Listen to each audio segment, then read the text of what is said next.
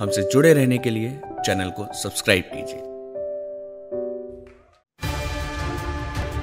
खाद की समस्या का लेके किसानन ने लगाओ जाम। उत्तर प्रदेश के महोबा जनपद में खेत में छिड़काव करे जावे वाली खाद अन्नदाता के लाने बड़ी मुसीबत बनत नज़र आ रही है।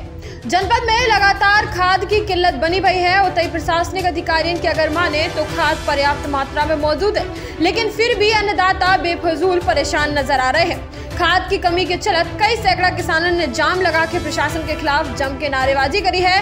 साथ ही लगाए गए जाम के चलत आवागमन पूरी तरह से ठप हो गया है। जिसकी सूचना पे पहुँचे सदर एसडीएम ने किसानन का आश्वासन दे के जल्द से जल्द खाद उपलब्ध कराए जावे की बात कही है।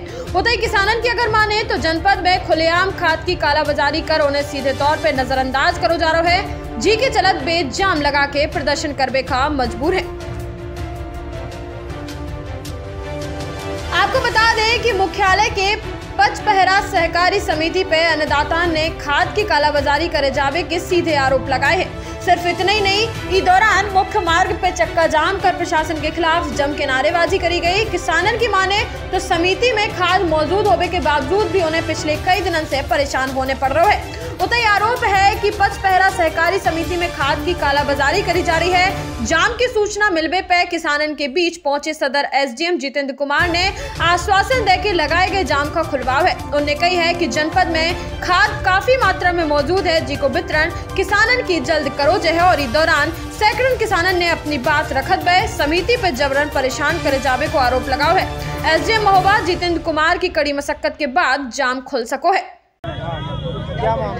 मामला ये है सर कि यहाँ ये पचपारा समिति आलमपुरा में जो यहाँ पे वहाँ के जो अधिकारी हैं, जो वहाँ पे बैठते खाद वितरित करते हैं, उनके द्वारा खाद नहीं दिया जा रहा है। और ये रात में पंद्रह सौ, सोलह सौ, सत्रह सौ, ये ब्लैक में रात में खाद बेचते हैं। और अभी ये किसान वहाँ पे अभी ऑलरेडी बहुत किसान बैठे हुए हैं। जब वहाँ से उनको निराशा हाथ लगी तब उन्होंने मजबूरन आके यहाँ पे रोड जाम किया है। और अभी भी लगभग दो घंटे हो गए हैं कोई भी जिला प्रशासन का उच्च अधिकारी यहाँ पे ना ही इनकी समस्या सुनने आ रहा हमारी।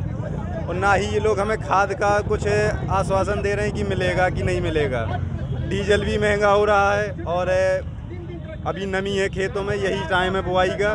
खाद हमको मिल नहीं रही इसलिए मजबूरन हम लोगों ने रोड जाम किया है। मैं हम लगभग सब पाँच छः सौ किसान हैं। सर खाद नहीं मिल रही है। खाद नहीं मिल रही खाद। ब्लैक से बेच रहे हैं रात में बेच रहे हैं साढ़े तेरह सौ का रेट है और रात में सोलह सौ की बेच रहे हैं कि हम आते हैं और चले जाते हैं। दे ही नहीं रहे खाद। कब से आप लोग यहाँ पर खाद के इंतज़ार में हैं? हम पंद्रह दिन से आते हैं जाते हैं दो घंटा से जाम लगाया कोई अधिकारी सुन ही नहीं रहा है। क्या कह रहे हैं? कोई आय के लिए तैयार ही नहीं है। अधिकारी को कोई अधिकारी कोई भी आए आए, खाद दिलवाए हमारी समस्या हल करे किसान की।